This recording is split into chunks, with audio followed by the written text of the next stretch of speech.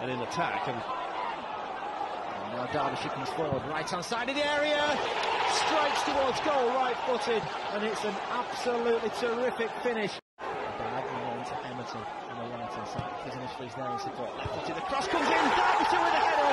It's his second of the game.